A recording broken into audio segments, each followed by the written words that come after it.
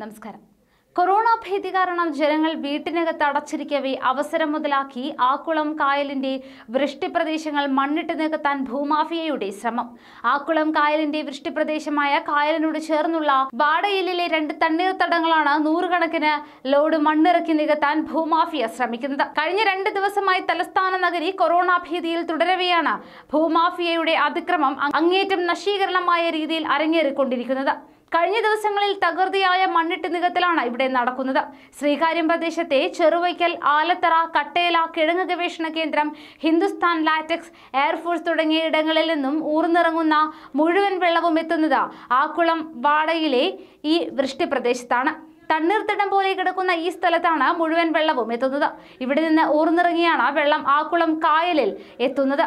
ഈ തണ്ണീർത്തടങ്ങൾ മണ്ണിട്ട് നികത്തുന്നതിനെതിരെ നാട്ടുകാരും പരിസ്ഥിതി പ്രവർത്തകരും വർഷങ്ങളായി തന്നെ പോരാടുകയാണ്. നിരവധി പരാതികളാണ് ജില്ലാ ഭരണകൂടത്തിനും പോലീസിനും അധികാരികൾക്കും ഇവർ നൽകിയിരിക്കുന്നത്. ഇപ്പോൾ കൊറോണ ഭീതിയിൽ തലസ്ഥാന നഗരി അമർന്നിരിക്കെയാണ് സാഹചര്യം മുതലെടുത്തുകൊണ്ട് തന്നെ തണ്ണീർത്തടങ്ങൾ നികത്തുവാനുള്ള ആസൂത്രിതമായ ശ്രമങ്ങൾ നടന്നുകൊണ്ടിരിക്കുന്നത്.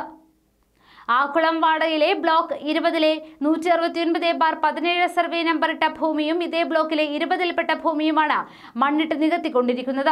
തീരദേശ നിയന്ത്രണ നിയമങ്ങളുടെ കീഴിൽ വരുന്ന പ്രദേശത്താണ് തകൃതിയിൽ മണ്ണിട്ട് മൂടൽ നടക്കുന്നത്. തീരദേശ നിയമങ്ങളുടെ നഗ്നമായ ലംഘനമാണ് നടക്കുന്നത് എന്നും ചൂണ്ടിക്കാണിക്കപ്പെടുന്നുണ്ട്. വിരമിച്ച സർക്കാർ ജീവനക്കാരനായ ജയമോഹൻ നായരുടെ അധീനതയിലുള്ള സ്ഥലമാണ് ഇതെന്നാണ് അറിയാൻ കഴിയുന്നത്. മുൻപ് ഇത് നിലമായിരുന്നു. പിന്നീട് എപ്പോഴോ ഏതൊക്കെയോ മാർഗങ്ങളിലൂടെ ഇത് പുരയിടമാക്കി മാറ്റി. ഇതിന്റെ ചുവട് പിടിച്ചാണ് കയ്യേറ്റം നടക്കുന്നത്. തണ്ണീർത്തടങ്ങൾ നികത്താൻ നൂറുകണക്കിന് ലോഡ് മണ്ണാണ് ഭൂമാഫിയ എത്തിക്കുന്നത്. വേറെ ഏതോ കുന്നിടിച്ച മണ്ണാണ് ഈ നീർത്തടങ്ങൾ നികത്താൻ എത്തിക്കുന്നത്. അപ്പോൾ വേറെ എവിടെയോ കുന്നിടിക്കൽ തകൃതിയിൽ നടക്കുന്നു എന്നും തണ്ണീർത്തടം നികത്തൽ വിരൽ ചൂണ്ടുന്നു. ഭീതിതമായ അതിക്രമങ്ങളിലൂടെ ഭൂമാഫിയയും ഫ്ളാറ്റ് നിർമ്മാതാക്കളും മറ്റു വൻകിട സ്ഥാപനങ്ങളും ആക്കുളം കായലിനെ നശിപ്പിക്കാൻ നിരന്തര ശ്രമങ്ങളാണ് നടത്തുന്നത്. സി പി മുഹമ്മദിന്റെ നേതൃത്വത്തിലുള്ള നിയമസഭാ പരിസ്ഥിതി സമിതി ആകുളം വേലി കായൽ കയ്യേറ്റങ്ങൾ വ്യക്തമായി രേഖപ്പെടുത്തിയിട്ടുണ്ട്. രണ്ടായിരത്തി പതിമൂന്നിലെ നിയമസഭാ പരിസ്ഥിതി കമ്മിറ്റി റിപ്പോർട്ട് നിലനിൽക്കെ തന്നെയാണ് എല്ലാ നിയമങ്ങളെയും വെല്ലുവിളിച്ച് കയ്യേറ്റങ്ങൾ ആക്കുളം തീരത്ത് നിർബാധം നടക്കുന്നത്. കുറെ വർഷങ്ങളായി ആക്കുളം കായൽ നാശത്തിന്റെ പാതയിലാണ്. കായൽ മത്സ്യങ്ങൾക്ക് പേരുകേട്ട കായലായിരുന്നു ആക്കുളം കായൽ. ഇപ്പോൾ കായലിൽ രാസമാലിന്യങ്ങളും മറ്റും നിറഞ്ഞ മത്സ്യസമ്പത്ത് നശിച്ച നിലയിലാണ്. ചൂണ്ടയിട്ടാൽ പോലും ലഭിക്കില്ല എന്നാണ് അനുഭവസ്ഥർ പറയുന്നത്. ആക്കുളം കായലിനെ ഞെക്കിക്കൊല്ലാനാണ് ശ്രമം നടക്കുന്നത്. ചുറ്റുമുള്ള തണ്ണീർത്തടങ്ങൾ മണ്ണിട്ട് നികത്തുമ്പോൾ സ്വാഭാവികമായും കായൽ നശിക്കും. ഇതിനു പുറമെയാണ് തലസ്ഥാനത്തെ മുഴുവൻ മാലിന്യങ്ങളും കായലിലേക്ക് ഒഴുക്കിവിടാനുള്ള ശ്രമങ്ങളും നടക്കുന്നത്.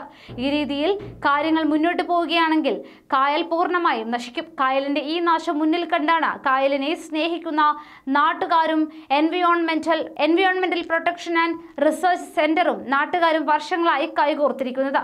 നിരവധി പരാതികളാണ് ആക്കുളം കായലിനെ നശിപ്പിക്കുന്നതിനെതിരെ എൻവിയോൺമെന്റൽ പ്രൊട്ടക്ഷൻ അധികൃതർക്ക് നൽകിയിരിക്കുന്നത്. പക്ഷേ ഇതുവരെ ഒരു നടപടിയും പരാതിയിൽ വന്നിട്ടില്ല. ടൂറിസത്തിന് മികച്ച സാധ്യതകളുള്ള ആക്കുളം കായൽ മാലിന്യ നിക്ഷേപം മൂലം വിഷമയമായി മാറിയിരിക്കുകയാണ്. കയ്യേറ്റവും മാലിന്യം തള്ളലും കായലിന്റെ സ്വാഭാവിക സൗന്ദര്യത്തെ എപ്പോഴേ തകർത്തു കഴിഞ്ഞിട്ടുണ്ട്.